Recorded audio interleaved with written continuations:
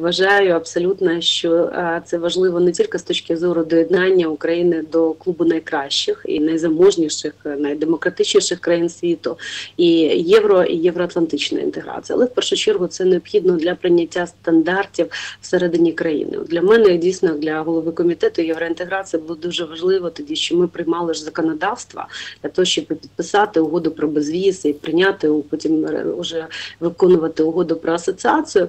Так в рамках цього законодавства були прийняті, наприклад, всі закони про створення антикорупційних е, інституцій. Це кому потрібно в першу чергу? Мені здається, це є запит самого українського суспільства, захист прав людини. Очевидно, що це також є запит самого українського суспільства, стандартизація, щоб у нас стандарти в екології, в харчуванні, в сфері переробки відповідали нормам європейським. Ну очевидно, що це є і запит самого суспільства. І власне, коли ми пройдемо цей шлях, коли країна буде відповідати стандартам, за якими зараз живе Польща, Чехія, країни Балтії, очевидно, що вони живуть заможніше, демократичніше, краще.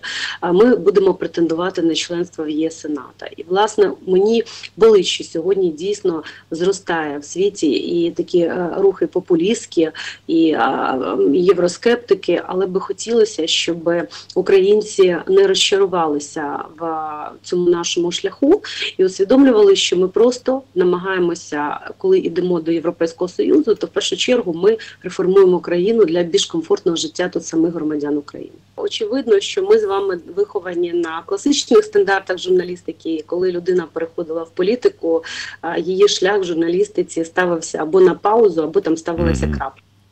А, Власне, зараз в епоху соцмереж, е, коли деякі ютуб-канали популярних політиків набирають більше ніж деякі непопулярні канали, це теж все змішалося.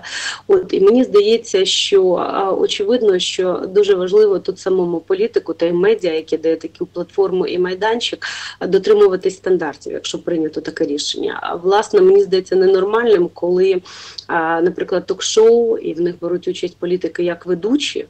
Деякі депутати в тих ток-шоу і по суті дезінформують суспільну думку. Або коли е, просто підігрують, е, дається такий майданчик для того, щоб не доносити ну якісь свою позицію, навіть політично, а просто використовуючи багатомільйонну аудиторію, займатися кілерством.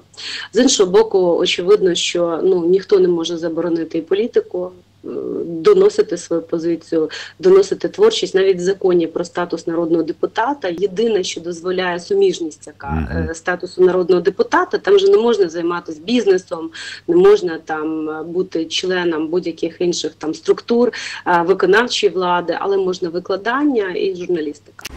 Ну і тиждень на громадському радіо. Програма про серйозні речі, які стосуються усіх нас.